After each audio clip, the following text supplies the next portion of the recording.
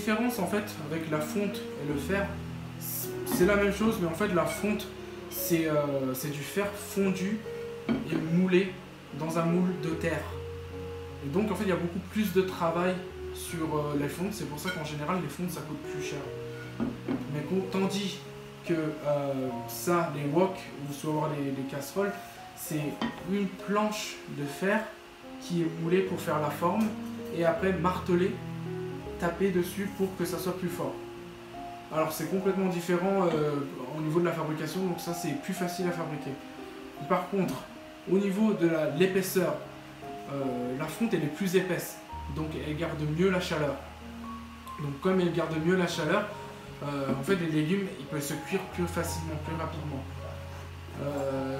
Et tandis que ça c'est vrai que c'est plus, plus fin, donc ils, gardent moins la chaleur. En fait, c'est vraiment juste ça. Et aussi euh, la fonte, si vous faites tomber sur quelque chose de dur, ça peut se casser.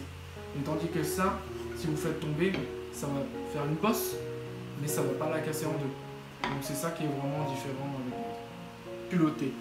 Donc la culottée, c'est mettre de l'huile avec des légumes que vous allez jeter, par exemple comme la peau de pommes de terre, peau de carotte ou des choses comme ça, et vous faites cuire pendant 5 minutes à feu doux pour mettre de l'huile partout sur, euh, sur, sur votre planche. Après, vous pouvez jeter la euh, cette préparation et après, vous pouvez l'utiliser normalement comme une poêle euh, en fonte euh, comme vous avez à la maison.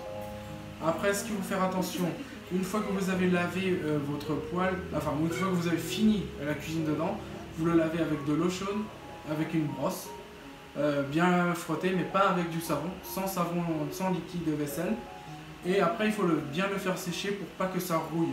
Donc il faut le remettre sur le feu pour chauffer encore une fois, pour faire évaporer toute l'eau qu'il y a dessus.